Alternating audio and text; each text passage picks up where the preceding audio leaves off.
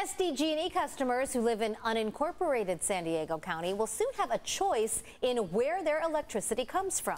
Already, 772,000 customers in local cities, including San Diego, La Mesa, and Chula Vista, have become part of Community Choice Energy programs, an alternative to SDG&E that provides renewable energy at a competitive price. News 8's Richard Allen has more on how the program works and the benefits it offers.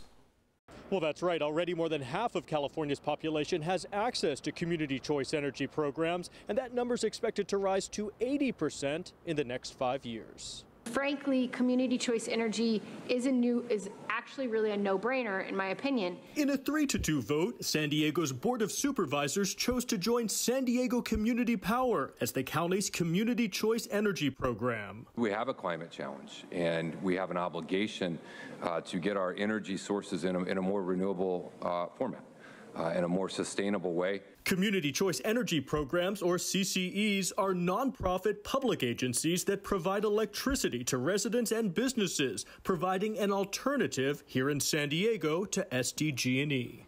Providing choice and competition in the energy space. Cody Hooven is Chief Operating Officer of San Diego Community Power, which already serves the cities of San Diego, Chula Vista, Encinitas, Imperial Beach, and La Mesa. Hooven says that choice provides benefits to consumers. What we're providing is a higher renewable um, energy content for customers at the same price, actually a little bit cheaper. About 1 to 2% cheaper. San Diego Community Power's small staff, currently only 12 people, and strong renewable programs, primarily wind and solar energy, allow them to offer more value. So we're trying to be lean and, and provide a good service to our customers. While customers will be automatically enrolled into San Diego Community Power, they can opt out if they choose simply by going online.